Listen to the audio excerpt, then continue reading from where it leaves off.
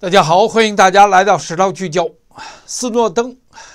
呃，CIA 的原来的情报官员，这都是将近十年前的故事了。那他呢，主要是作为承包商，他在戴尔工作的时候，呃，是 CIA 美国国家情报系统的叫代理商。那结果他有权接触一些美美国国内的比较高端的机密文件，他就下载这些文件，几千份文件。然后他他他就把这些文件逐渐就往外释放放出去了，放给了记者，那直接冲击了当时奥巴马政府在奥巴，对不起，在奥巴马期间，直接冲击了奥巴马政府本身很多在有关 CIA、FBI 就就是美国国家安全系统对美国国民的那种呃违反宪法式的那种监听也好、查阅也好、收缴资料也好。违反美国宪法，违反美国公民的基本的权利，那他他的故事基本上是这么故事展开的。那很多人把他视为英雄，就揭穿了美国国家美国的人权的丑陋的一面。然后这，而且就把他把他视为是一个卖国者，出卖出卖国家情报的人。所以，那这样的话就麻烦了。所以，而斯诺登本身呢，辗转了很多地方。啊，包括在日本、在香港，还去过，还在夏威夷，所以他最后辗转就落脚到了俄罗斯。他呃，这这个人蛮精华的，他落脚在俄罗斯，然后在俄罗斯申请了永久居民。那这个故事呢？现在这个故事是今天，今天普京亲自批准他申请加入俄罗斯公民的这一份申请，所以他今天就成为了俄罗斯的公民。那很显然，这是普京针对俄俄、针对美国之间一个完全是一种战略性的一种对垒。因为就就现在而言，那斯诺他是美国情报系统的，而今天的美国司法系统、美国情报系统 FBI、CIA，它的名望名誉在美国境内，在美国在美国的大选的过程当中，中期选举的过程当中是非常。哦，他的信誉是非常受到质疑的。那而左派政府呢，正是掌控着 F 这个 FBI 跟 CIA 和这个司法部。所以，在美国美国人将要进行大选之前，你可以把它看成这是普京亲自出手，影响干预影响美国中期选举，借助斯诺登的名望。跟他的影响和揭露美国情报系统当中的罪恶，主要是对美国公民的罪恶，在直接打击今天美国民主党体系当中在中期选举当中的可能的故事。现在是今天是九月二十五号，九月二十六号，二零二零年的九月二十六号，当时的故事就是亨特·拜登儿子的故事，当时是朱利安尼拿出来的，所以。他他的目的很大的目的是这个目的，在提醒着，在我眼睛里看起来是这样，因为提醒着所有美国人，斯诺登揭露的是什么？因为很多美国人都把他推为英雄，而美国的政府和美国的立法机构认为他是美国出卖者。显然这是两个阶级的人，对吧？那对选民影响大的，对于选民影响大的是对他的支持。普通的人会觉得他告诉了事情的真相，那权力者会认为会把他斥为说这是出卖国家，所以我愿意把它解读成，因为是普京亲自今天亲自下令，普京来给予斯诺登公民的身份，去潜在表达今天美国政府对美国公民的迫害，而这个美国政府就是美国的左派政府。因为当初的斯诺登是奥巴马的，今天的美国政府是拜登的，呃，那是他们一脉相承的，呃，其实是这，我看隐喻是这样。因为当这件事情下午刚刚出来的傍晚出来的时候，几乎所有美国媒体都登了，那大家都知道这件事情。可是这件事情是个老事情，不是现在的事情，所以就以这样的方式，呃。爱德华·斯诺登获得了俄罗斯公民的身份。前美国情报商，呃，斯诺登根据普京的命令获得了乌克兰、俄罗斯的公民。呃，星期今天签署的，授予二零一三年一直居住在莫斯科的斯诺登，为了逃避美国当局的抓捕，所以而批而给予他俄罗斯公民的身份。他是二零二零年十月份获得永久居留权的，所以这是故事就这么来。普京，普京，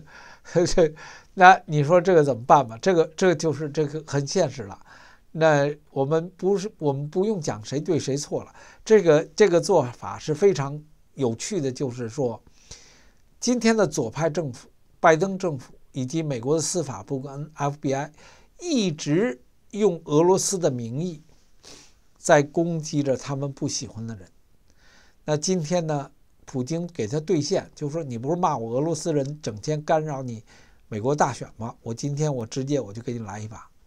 随便你怎么解释，因为你再怎么解释，它影响的是普通的美国人，那媒体也肯定报，所以美国人就会看到，在对比着今天 FBI 的做法、司法部的做法、突袭海湖庄园的做法，对这些那 FBI 里面站出了很多举报人的做法，其实这就是真的是一种冲击，很大的冲击，因为美国人会希望不希望要这么一个盖世太保的东西。他希望要一个，就是 F C I A F B I 是保护我们的，而不是监督我们的。二零一三，斯诺东在夏威夷美国国家安全设施中辞职，到香港担任国家安全区域承包商，在那里他下载了数千份美国国内监督计监控计划和全球安全行动档案，所以有些人对他称呼。而美国当局是说他违反了间谍法，他也是违反间谍法，所以很这这这这就普京这是故意的。他是中央情报局的系统管理员，所以他他有权进入一些呃别人进入不去、进入不了的一些区域。他进入了戴尔作为承包商，后来又到了叫艾伦汉密尔顿。那但是在戴尔期间。为美国国家安全区域公司签订合同工作，又到日本的一个工厂工作，后来又转到夏威夷。二零一三，他离开戴尔，转到艾伦那里，然后总部是在夏威夷的美国国家安全区域设施里头，所以他他是一个真的是一个情报官你可以把他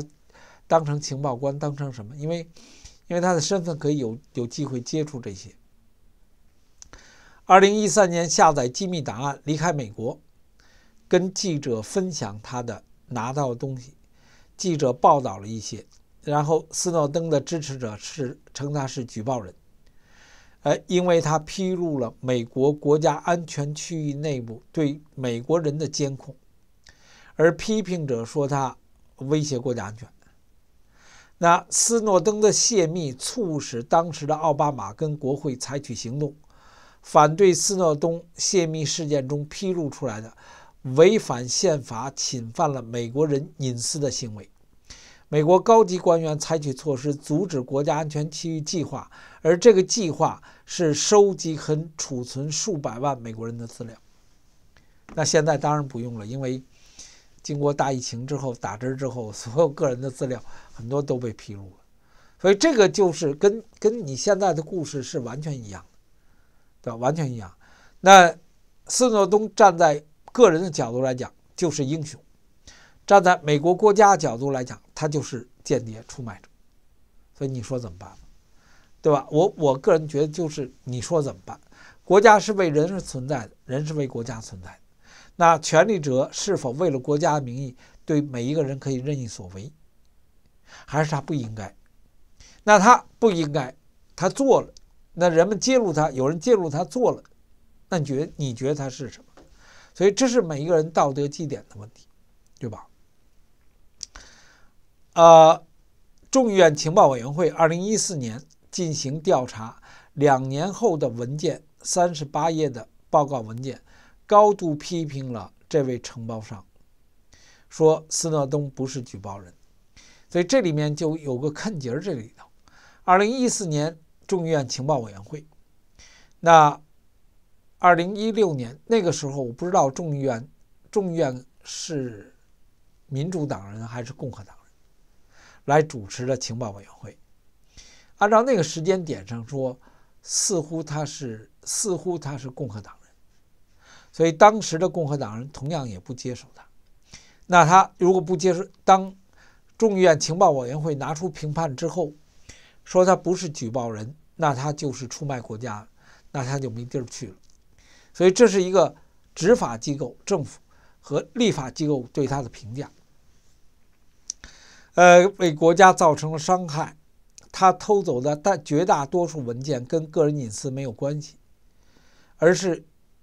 呃，被美国对手非常感兴趣的军事、国防跟情报有关，然后他就只能转到俄罗斯了，寻求保护。那美国人抓不到他，俄罗斯呢就俄罗斯到了美国，俄罗斯诺东从美国的从莫斯科主管新闻自由基金那里获得一些相应的。他的生活保障，那这基本上就是这么，基本上是这么个对待，所以这是一个很有趣、很有趣的，就是斯诺登在确认美国政府一定会抓他的时候，他就投靠了俄罗斯。那这个故事在这个时候拿出来，所以普京呢，在这个时候拿出来，涉及到间谍法的问题。那间谍法就是今天的川普，对吧？用斯诺登的案子对比今天的川普。突袭海湖庄园的案子，用斯用斯诺登的披露出来，美国的今天的左派政府在伤害人人们的人权，来对比着今天在美国在今天的美国政府当中司法部和 FBI，影响着美国中期选举。普京还是有他一套的，那你美国人怎么应对？因为这个故事早就知道了，所以他是以这样的方式。那但是所有美国人，如果我是我我去投票的话，我当然就会想到哦，斯诺登、间谍法、川普、中期选举全都连在一起了。所以，普京一枪打了好几只鸟，而被打下的鸟呢，让你们自己看，他就不管了。他把他授予公民的消息一暴露出来就完了。感谢朋友们的支持。